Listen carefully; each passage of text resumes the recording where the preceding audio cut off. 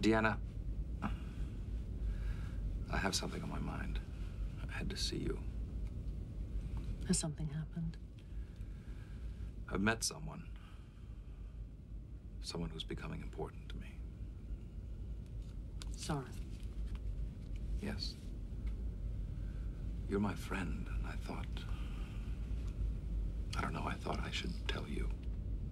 I'm glad you did. Nothing will change between us, will it? Of course it will.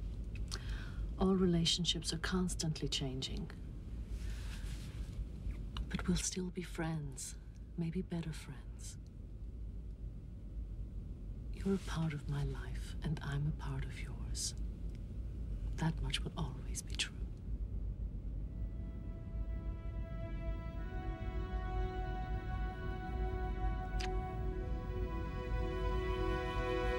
Malcolm said this was a bad idea, but I. I think it's the right thing to do. What's that?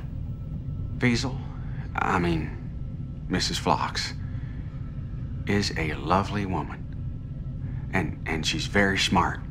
She knows more about quantum optics than anyone I've ever met. She is remarkable. Remarkable. Yeah, she sure is. Was there something else? Yeah, there is. You gotta understand, I've been a perfect gentleman. Absolutely nothing's happened. She's trying to. She's, she's, um. making advances, if you know what I mean. Sexual advances? I'm afraid so. Has she offered to give you a rose petal bath? No, no, no, nothing like that. Oh, any man would be a fool to ignore the romantic overtures of a healthy, Denobulan woman. Don't you find her attractive? Oh, sure. I, I mean, no, she's your wife. What does that have to do with it?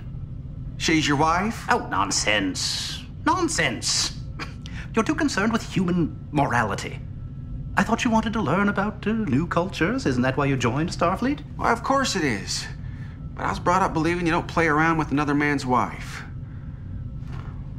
I don't think I'm ever going to change my mind about that. As you wish.